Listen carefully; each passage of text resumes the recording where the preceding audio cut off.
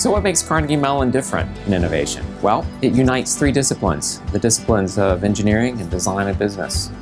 Of course, those are the disciplines that really matter in innovation because if you're going to have impact in the marketplace, whether that's impact with a product or a service or software, you need it to work, you need it to be effective.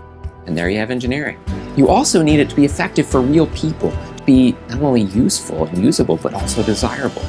And there you have design. Plus, it's got to be economically viable. It's got to stay out there and continue to impact lives. And there you have business. Our students come from around the world we have the best students that are excited, enthusiastic, and driven by product and service innovation. Because you're going to learn not only about your discipline, but the other disciplines that are so core to the innovation process.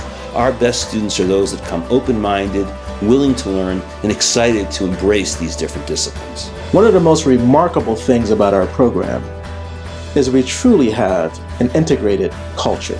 From day one, students learn to get outside of their traditional discipline boundaries and become holistic thinkers and doers. The business student takes engineering courses, takes design courses. The design student takes business courses, takes engineering courses.